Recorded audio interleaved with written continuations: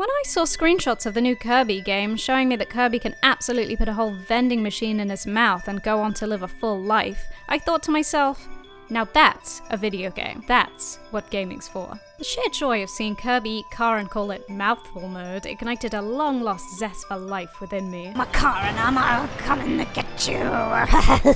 it reminded me of my own small mouth and the challenges I face. The Kirby and the Forgotten Land demo lets you play three tasty Kirby levels, and what it really showcases is that cutscenes can be made with Kirby in them. When I play a game, I love to watch a cutscene, then to run a little bit and find another epic cutscene. Kirby really delivers on that by peppering its gameplay with cutscene for all the cutscene fans. I love being Car Kirby. I love too that Kirby sees a traffic cone and thinks, yeah, I'm gonna put that in my mouth. Being the big items is fun, although it does feel like we're simply absorbing Mario Odyssey's hat possession mechanic and stuffing that into a Kirby game. Why is there a mouthful mode when Kirby's already mouthing things every day? With Mario it's like, oh my god, this man previously just jumped on things, but now he has incredible sci-fi hat powers that make him an absolute god among plumbers.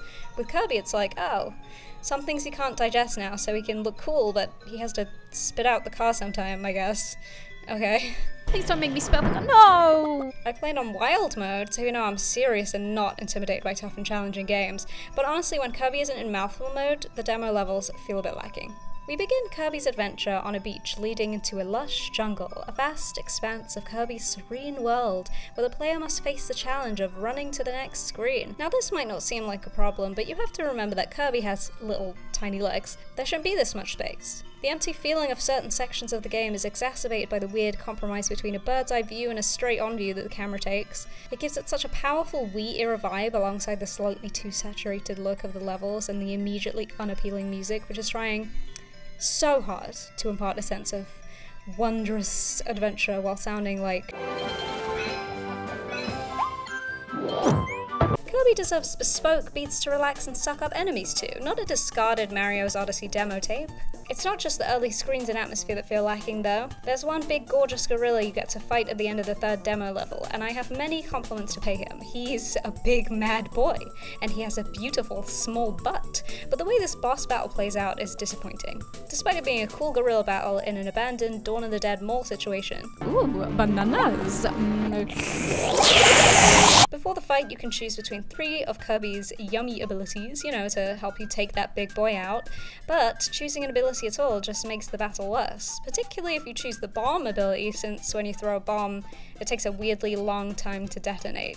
A lot of my playthrough of this demo was spent awkwardly waiting for my bomb to go off, but regardless of the ability you go for, the best way to deal with this gorilla is to throw that shit away and gobble up the stars he swipes at you instead. Mmm. This game doesn't seem to realize that I chose wild mode. I wanted to be wild. I didn't want to be a little baby playing a Kirby game for babies. This is for babies, and I'm not one. But you know what's good? This bull. Look at him. I love him.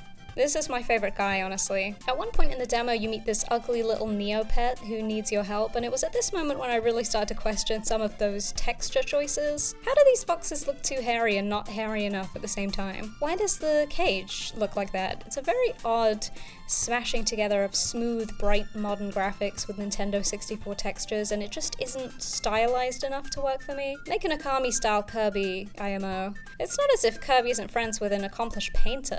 Like, it looks okay, but Kirby deserves to go beyond the standard. Kirby deserves the beauty and breadth that Mario and Mr. Zelda have been getting. Where is the sexy new Kirby look to go along with his new modes? Where is the bespoke Kirby Cold Jazz fusion? Where's the swift updated gameplay showing that Kirby is, in fact, an incredible badass? He can still be for the children, he can still be a goofy little ball who's here to be cute and collect pieces of cake, but he can be more than one small ball entering the world of 3D. At the end of the demo, a video shows us some neat stuff from the full game. You can build a little Kirby town, you can upgrade your abilities, and you can collect a bunch of gachas. Who is this? Who is this? It's Kirby! It's Kirby! Some of that stuff looks really cool, and I hope that the full game feels more chunky than this demo did, but you know, I just really want some solid driving time. Kirby, steal another car with your mouth, please. That's gaming. That's what's that's what's gaming.